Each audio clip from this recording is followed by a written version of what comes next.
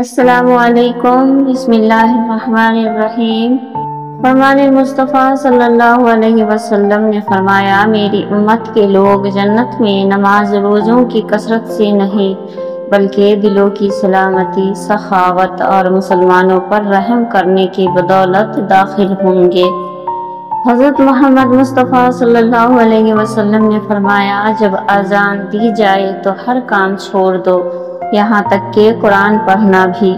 جو شخص اذان کے درمیان بات کرتا ہے تو موت کے وقت اسے کلمہ نصیب نہیں ہوگا۔ اس کو ایک دوست تک ضرور پہنچانا، کیونکہ اچھی بات بتانا بھی صدقہ ہے۔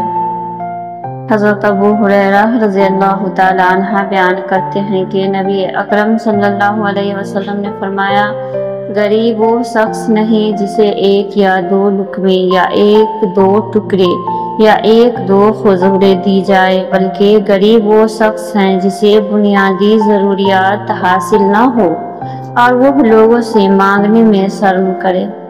حضرت ابن عباس رضی اللہ عنہ سے مروی ہے کہ آپ صلی اللہ علیہ وسلم نے فرمایا، قسم خدا کی، جس کے قبضے میں محمد صلی اللہ علیہ وسلم کی جان ہے آدمی ایک حرام لکمہ پیٹ میں ڈال لیتا ہے تو اس کی وجہ سے چالیس دن تک اس کا کوئی نیک عمل قبول نہیں کیا جاتا ہے۔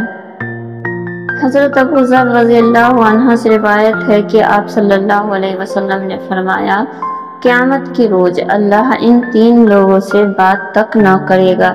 ایک احسان جتانے والا، دوسرا سود کھانے والا تیسرا اکڑی ہوئی گردن والا یعنی متقبر نمازی کسان نبی کریم صلی اللہ علیہ وسلم نے فرمایا، جب میت کو قبر میں داخل کر دیا جاتا ہے، تو اس کو ایسا معلوم ہوتا ہے جیسے سورج چھپ رہا ہے، لہٰذا وہ آنکھیں ملتا ہوا اٹھتا ہے۔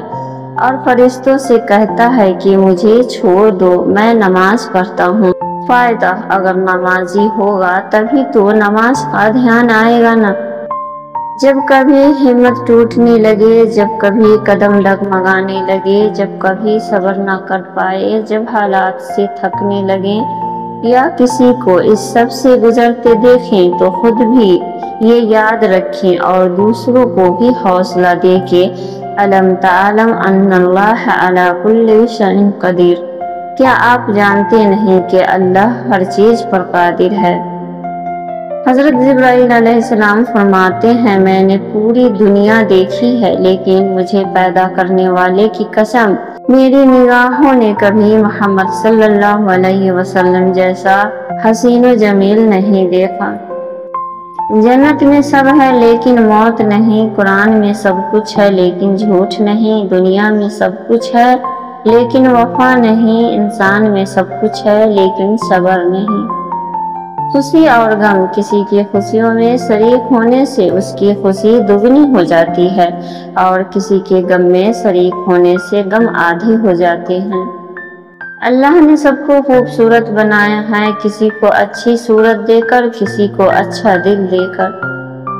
دیواروں کے پاس کان ہو یا نہ ہو، فرشتوں کے پاس قلم ضرور ہے۔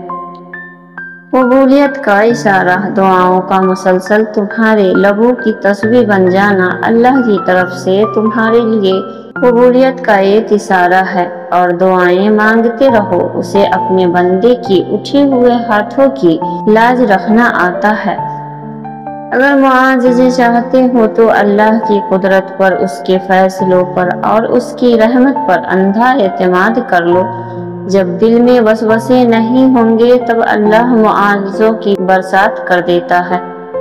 اللہ تعالیٰ فرماتا ہے، جس کو ہم نے بہت دیا ہے، وہ یہ نہ سمجھے کہ ہم اس سے خوش ہیں۔ اور جس کو نہیں دیا، وہ یہ نہ سمجھے کہ ہم اس سے ناراض ہیں۔ دراصل دونوں کی آزمائش ہے۔ اللہ جل ثانہ سے ہمیشہ بہترین گمان رکھیں کہ آپ کے ساتھ اچھا ہی ہوگا اور وہ کبھی آپ کے ساتھ زیادتی نہیں کر سکتا کیونکہ اللہ جل ثانہ سے بڑھ کر نہ کوئی آپ کا خیر خواہ ہے اور نہ ہی محبت کرنے والا۔ یقین کریں انسانی اشاب کے لیے اس سوچ سے زیادہ طاقتور اور کوئی شے نہیں۔ میں نے کبھی نہیں سوچا کہ یہ دنیا میرے بارے میں کیا سوچتی ہے، کیونکہ میں جانتی ہوں کہ ایک آپ ہی ہیں جو مجھے سمجھ سکتے ہیں، کوئی کیا کہتا ہے، کیا سمجھتا ہے، مجھے بالکل فرق نہیں پڑتا۔ کیونکہ ان کے الفاظ، ان کی سوچ سے، ان کی طاقت سے بہت زیادہ وسیع ہے۔ آپ کے اختیارات، یا اللہ، آپ تو میری نیت سب جانتے ہیں، آپ کی کن کی منتظر ہوں یا اللہ میری ہر دعا پر کن فرما دے۔ آمین سما آمین، یا رب العالمین۔ جہاں آپ بے بس ہو جائیں، وہاں پھر سارے معاملات اللہ پر چھوڑ دیں، وہ آپ کی نیت بہتر جانتا ہے۔ اللہ تعالیٰ کو سب بتایا کریں اور کوئی غلطی ہو جائے تو معافی مانگا کریں اور اس سے سب کچھ کہتے رہا کریں۔ چھوٹی سی چھوٹی بات بھی، کیونکہ وہ کبھی نہیں کہتا کہ بس کرو، میں سن کر تنگ آ گیا ہوں۔